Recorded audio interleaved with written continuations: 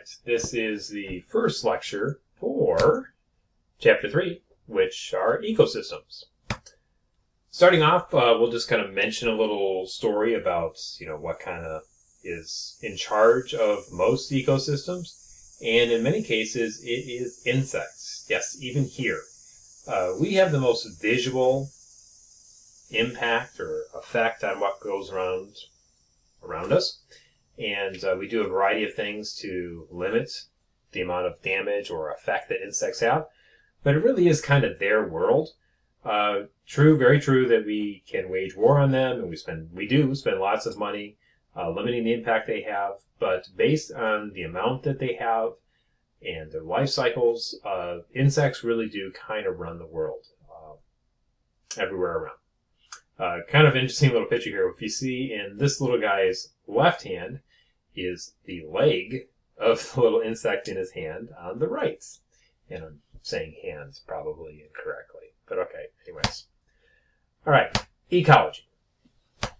Uh, ecology is, I think, is the most interesting branch within the sciences, or one of them, uh, the biosciences. Uh, it's kind of once you get past some of that organ systems uh, study, and you really start to look at organisms and how they interact with each other in the living real world. Um, I just find that very interesting. So again, ecology is you're looking at kind of a both things. So how organisms interact with each other, their communities, and also the living things around them. We mentioned this a long time ago in chapter one. So pretty interesting stuff. And if you're lucky and you're so inclined, you could take a class in college that is specifically ecology. Pretty good. We were mentioning early in regards to the types of organisms that we have out there, and the majority, or about half, don't look at this as in regards to exactly, but you get the general idea, that about half of the organisms that we have out there that we know of are insects. And these are species. So it's like, wow, that, that's a lot. And then you can look at some other things in here, just relative numbers in here. Again, I don't think this is perfect, but it gives you a pretty good idea of the kind of things that we have out there. Uh, mammals, we are we're a little bit smaller on the list, so they're just throwing everything into that category. But mammals are, even though we're quite large, uh, our relative numbers, uh, species numbers, are pretty low in comparison to other things. Okay, and we were talking about like kind of who runs the world, and we like to believe we do, and we can, you know, wage war and have an effect on other things in the living world. But really, what it comes down to who actually is in control in the long run, it's bacteria, protozoa, single cell little guys, fungi, yeast. Um, these are like uh, they're very small they have very quick life cycles, and you can throw virus in there as well, as we're kind of seeing uh, something wage war on us, uh, the coronavirus going on right now for the last year or so. Uh, that is something else that is, again, kind of out there. But all of these things uh, control uh, other life cycles, but they're not all necessarily bad, so I don't want to give that impression. Uh, when you talk about like bacteria, what some people will point out is just based on the number of cells in your body, you are more bacteria, not you, than you are you. You have more cells of bacteria in your body than you do of what you might just call you. Uh, but all these things, again, help. Uh, they do a lot of things that make life possible here on Earth. Populations, just to kind of throw a definition thing out there, these are all the individuals of a particular group, species that interact with each other. Uh, life support. So when we're looking at uh, the different layers of the Earth, you can see all these on there. I'm not going to mention them, but I will mention just the biosphere portion. So you can take a look and you kind of start divvying this up here.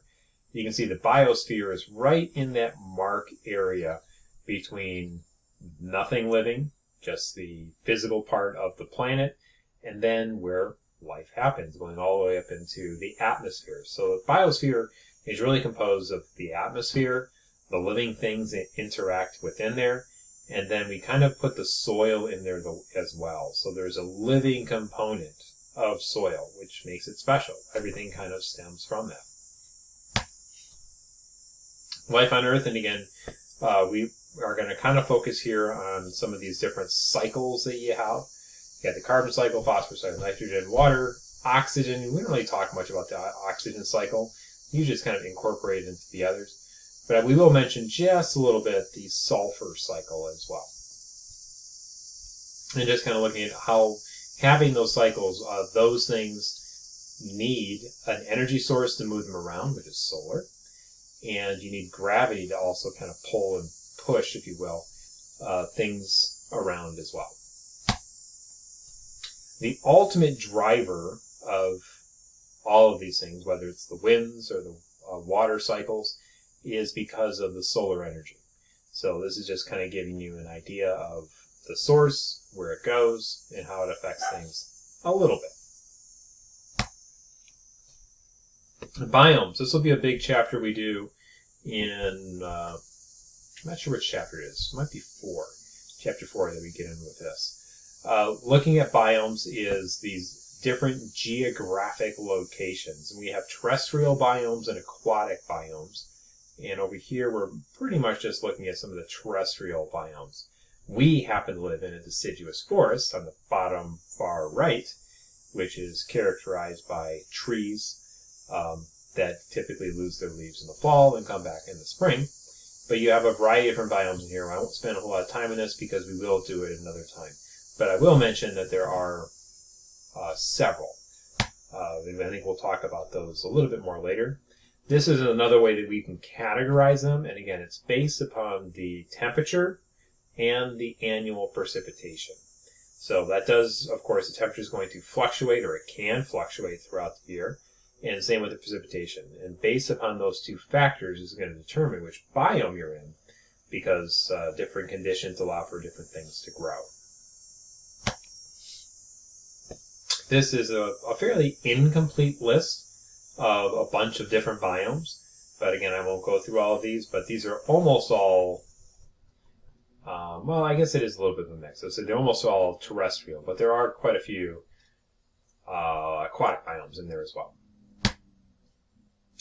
Okay, so ecosystems, just in general, just to repeat this, there are two components to it. There's all these different living things that are out there, the biotic components. And then there's the physical environment, the abiotic, non-living parts that they interact with as well. So there's there are those two parts to it. Those are mostly just definitions I'm throwing at you. Now, based upon what lives in a particular ecosystem is going to be based on the conditions that are there or allow things to grow. And this is part of the study of climate change. So you have things that for thousands of years, millions of years, have adapted to live in certain conditions, whether it's the amount of precipitation or the temperature, and they are fairly sensitive. And we're seeing these changes take place live right now. And this is just a little example here, just looking at uh, where fish this happens to be. And it's got a temperature range in which it does well and then maybe not so well. And sometimes we can just shift along and everybody kind of goes along with that shift. But usually um, and we'll talk about this in a little bit in, in regards to evolution. Uh, there happens to be, there will be a change in the population. And there's a couple of different ways that can go. But this is just something we're introducing right now that species are affected by the conditions in which they live. All right, limiting factors. These are things that affect how well a population does in its area. Uh, so think of like food. You know, you you only have so much food. You're only going to be allowed to grow, if you will, so much. Uh, and these are all something that are limiting. So, for example, if you're trying to grow a plant in your house and it doesn't have access to sunlight, it's not going to grow really well, unless, of course, it's something that really does well, very little light. You get the idea. But if you take a look at this list, you can kind of go through there and say, okay, yeah, that makes sense. All these things will limit how well something can grow. Nutrients is something we'll get into a little bit more detail um, later on. DO is dissolved oxygen. So, for example, some fish do really well in waters that have fast moving cold water.